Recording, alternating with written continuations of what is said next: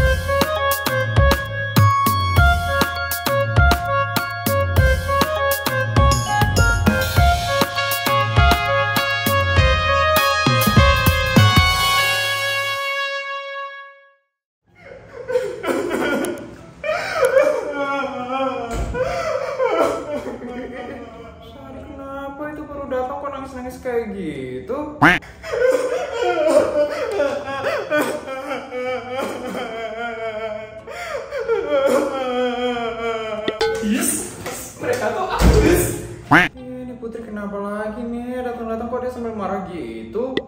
Yes. Hah, Ribet banget sih lahir di keluarga sultan kayak gini. Aku lebih mending jadi orang sederhana aja daripada orang sultan kayak gini.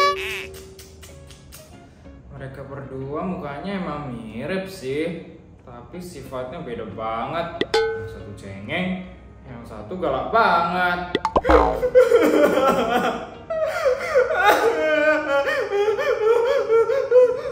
Emang gak mikirin mental gua apa? Lama-lama mental healthku bisa hancur gara-gara mereka. Sorry Putri. Kalian berdua ini kenapa sih? Yang satu nangis terus, yang satu galak banget. Pusing banget deh aku ngelihatnya. Ya udah nggak usah dilihat. Eh, galak banget sih si Putri ini. Udah, kalian berdua coba cerita aja. Siapa tahu bisa lebih lega setelah cerita. Tumben kamu perhatian, Ton. Jadi gini. Aku kan mau beli tas baru. Tapi mama aku udah belanja banyak di Shopee. Jadi jatah bulanan buat belanja hari ini udah habis deh.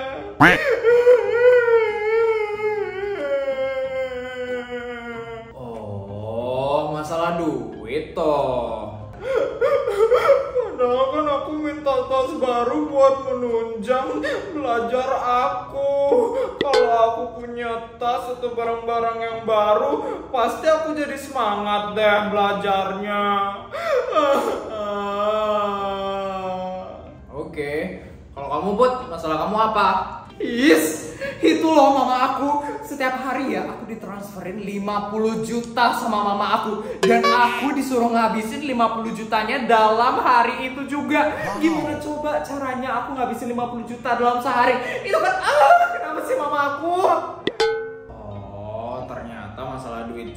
Juga toh. Capek banget aku juga setiap hari berangkat harus naik helikopter ke mana-mana pokoknya harus naik helikopter dan harus didampingin sama ribuan bodyguard. Ah, capek banget aku. Enak banget sih hidupmu, Put. Enakan hidupmu lah. Capek tahu harus mikirin mau beli apa yang buat ngabisin 50 juta dalam sehari. Lebih capek pas belanja itu nggak ada uangnya tahu. Hidupmu lebih enak. Hidupmu lah. Ih, kamu ya? Kamu lah buat kamu, kamu, kamu, kamu. Eh, eh, cukup. Udah, udah, udah. Cukup kalian berdua berantemnya ya. Gini, gini, gini. Aku punya solusinya untuk kalian berdua. Gimana kalau kalian berdua tukeran hidup aja? Heh, kamu kira ini sinetron apa? Iya, caranya gimana coba? Wah. Ih, gampang. Kalian berdua lo mirip banget. Nah, sekarang kita harus ngakalin caranya gimana biar rambut kalian itu ketuker. Gimana caranya? Harus dicat gitu? Mana bisa kayak gitu, ribet amat. Atau kalian tutupin aja rambut kalian pakai selendang. Wih, dari mana kamu dapat Tot? Malingnya. Enak aja, nemu di kolong bangku kelas sebelah. Tuh kan bener maling. Enggak ya, siapa suruh mereka teledor lupa naruh di kolong bangku. Jadi ya aku ambil aja. Udah ya, pakai aja. Mana selendangnya? Sini bawa. Nih, buat Sari. Karena mama papa yang Putri itu serba hitam, jadi gue kasih kamu selendang hitam. Nih, pakai. Kalau Putri yang warna putih aja ya, soalnya sih saya ini aja. Udah, silakan dipakai.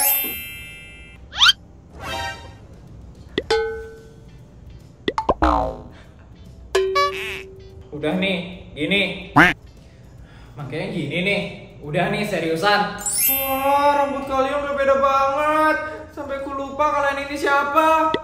Ini aku Sari. Yang pakai selendang hitam itu Sari ya, ingat. Yang pakai selendang putih itu Putri. Sekarang kalian tukeran tas dong, biar keluarga kalian gak curiga. Oh iya, bener juga. Nih, Besai.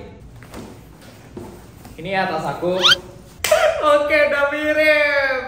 Sari dan Putri, ini saatnya kalian beraksi. Bestai, aku deg-degan. Aku takut kalau ketahuan. Gak bakal ketahuan, Bestai.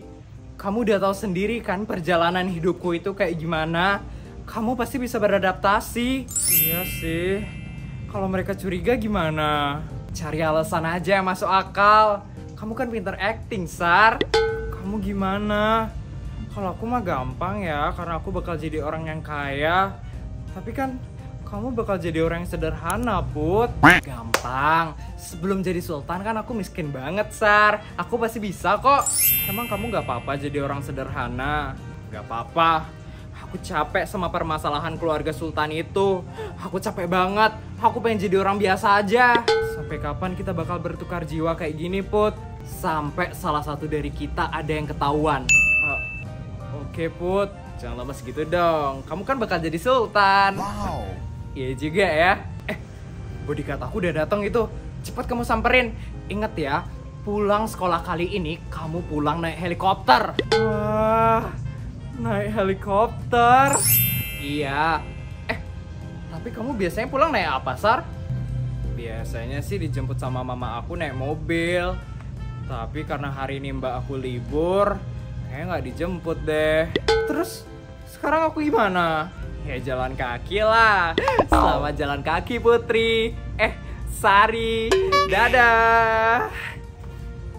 Ih, sialan. Ya udah deh, aku pulang aja sekarang. Mbak. Mbak. Mbak. Sari. Apa-apaan sih kamu? Mbak kita kan lagi pulang kampung. Ya ampun, aku lupa kalau aku sekarang Sari. Aku lupa kalau di rumah ini kan nggak mungkin ada seribu pembantu. Oh iya, kata Sari kan di rumah ini cuma ada satu pembantu aja. Heh, Sari, kamu apain itu rambut kamu kok dibalut kain warna putih kayak gitu? Eh, ini mah lagi ngetren di sekolah pakai selendang kayak gini, makanya aku ikutan juga deh. Tran, tren, tran, tren. Kalau kamu mau jadi anak yang trendy, trendinya itu seperti mama dong. Cantik, fashionable, and cool. Perasaan mama biasa aja deh. Yes. Oh ya masalah tas, mama nggak bisa beliin kamu ya. Soalnya mama baru aja habis beli tas mahal impiannya mama. Tas mahal? Berapa harganya mah? 5 juta. 5 juta?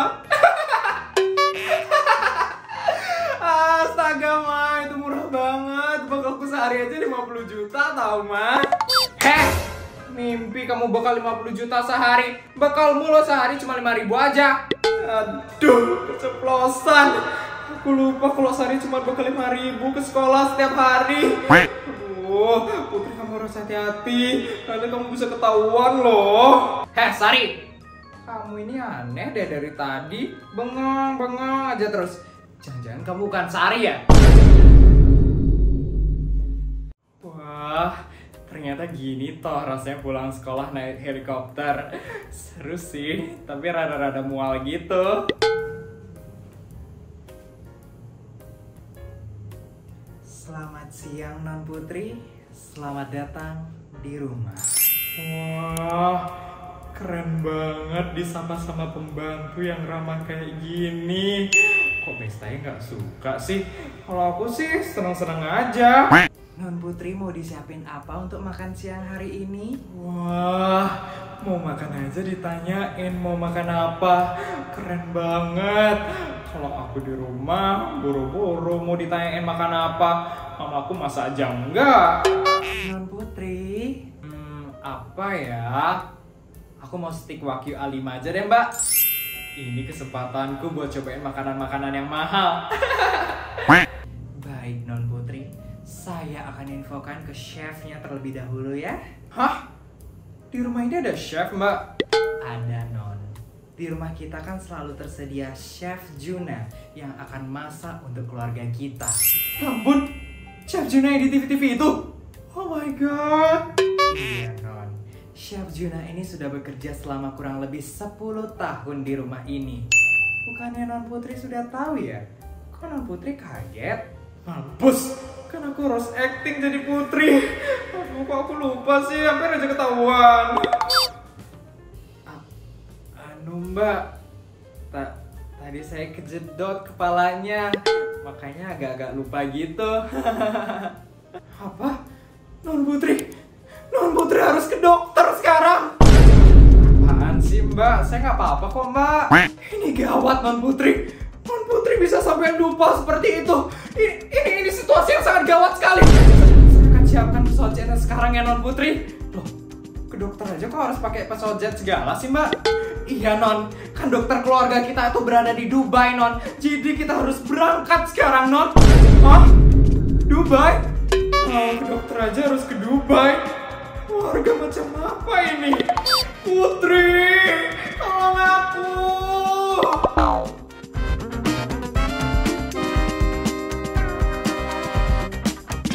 Gimana guys videonya? Seru kan? Jangan lupa untuk like, comment, dan subscribe channel ini. Oh ya, aku juga punya video-video menarik lainnya. Yuk tonton sekarang!